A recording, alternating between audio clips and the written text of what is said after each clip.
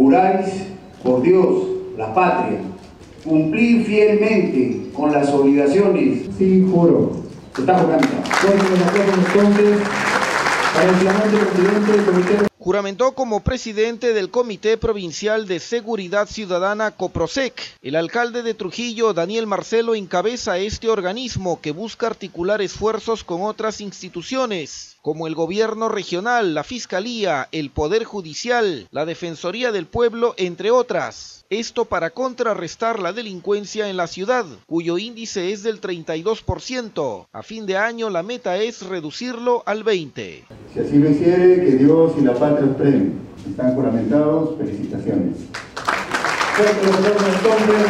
se visibilicen las acciones, se transparenten los compromisos y se puedan concretar. Y ya estamos planificando el tema del patrullaje integrado ya tenemos ya eh, casi las 59 camionetas porque estuvieron en mal estado, pero ya hemos recuperado 15. Por ello se patrullará los 59 territorios vecinales de Trujillo en sus tres turnos. Incluso se reactivará el programa Patrullaje sin Fronteras, el cual se articulará con los distritos. En esa línea, Marcelo Jacinto desistió de su propuesta inicial del patrullaje del ejército en las calles. Nosotros pedíamos que el ejército nos ayude porque no había policía.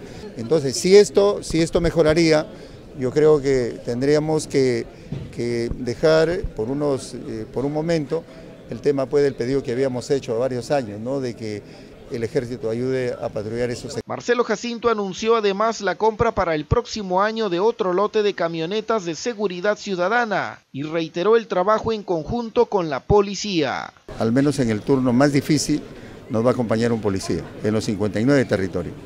Ellos están de acuerdo que un patrullero pueda trabajar en cada territorio. Lo que no debe quedar duda es que esta gestión, tanto regional, municipal y policial, está en la obligación y el compromiso de solucionar en lo posible toda esa problemática.